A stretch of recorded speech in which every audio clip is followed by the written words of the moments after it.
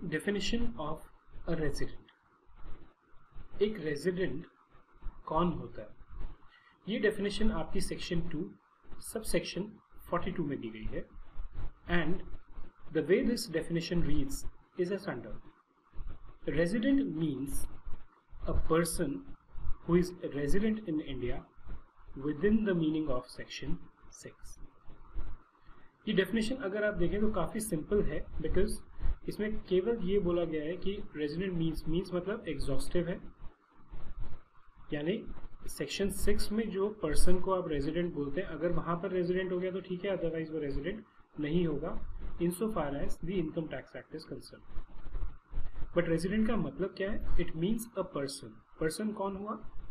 The seven categories that we had discussed So if you are falling under any of those seven categories, who is a resident in India?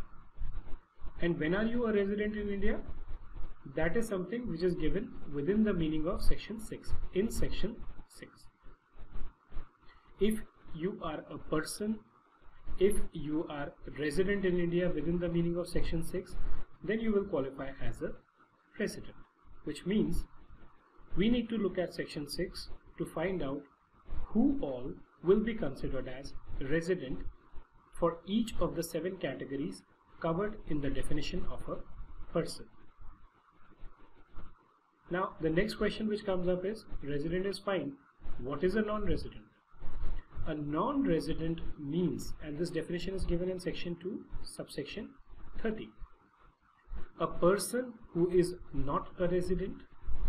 So if after looking at section 6 we conclude that you are not a resident, then you are a non-resident, right?